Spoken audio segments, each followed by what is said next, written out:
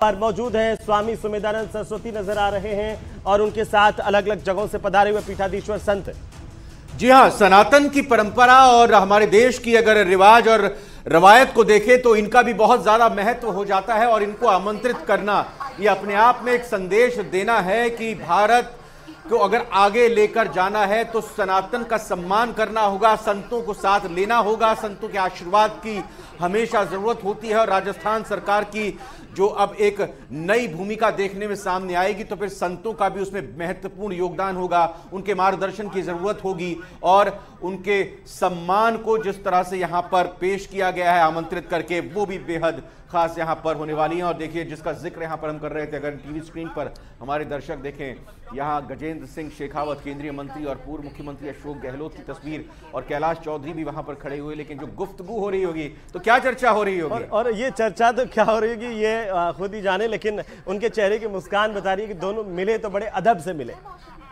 मैं अगर निरंजन जी का ऑडियो आ पाएगा तो हमारे साथ स्टूडियो में जुड़े हैं तो निरंजन जी से बात करूँगा। निरंजन जी ऑडियो आपका अप होगा तो जरा बताइएगा हम और हेमंत तो कयास लगा ही रहे हैं ये क्या बातचीत हो रही होगी?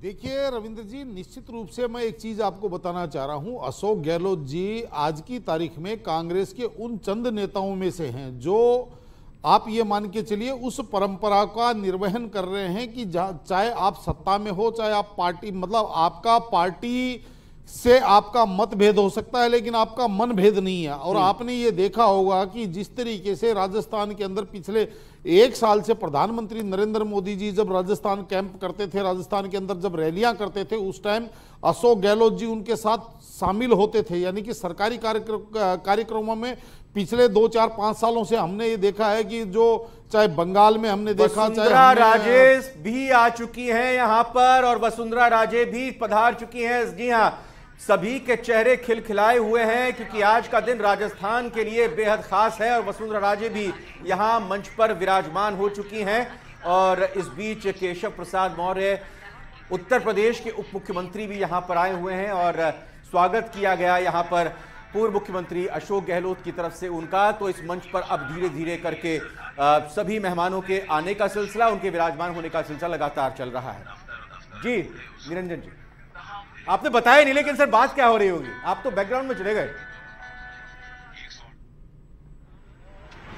हेमंत नितिन गडकरी भी यहाँ पर पहुँच चुके हैं और देखिए यहाँ नितिन गडकरी का जो राजस्थानी साफा और पगड़ी होती है उसके साथ स्वागत भव्य तरीके से किया गया, फूलों के गुलदस्ते के साथ स्वागत किया गया और यहाँ से यही मानकर चला जाए कि सीधा एयरपोर्ट से अब वो रवाना होंगे।